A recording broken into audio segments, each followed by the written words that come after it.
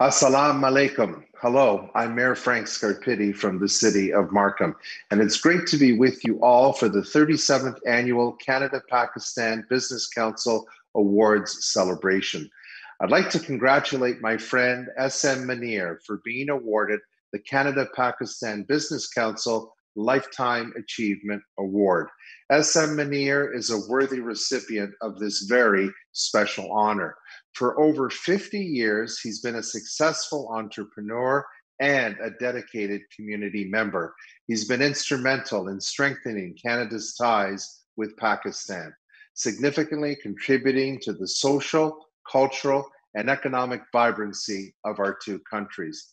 As the mayor of Canada's most diverse city, we value having local leaders like SM Muneer in our community.